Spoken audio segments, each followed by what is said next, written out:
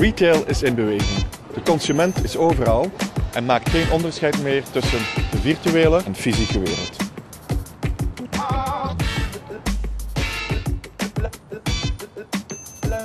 De consument wenst het gemak van de keuze. De consument is ongeduldig. Kortom, de retailer wordt uitgedaagd door de consument.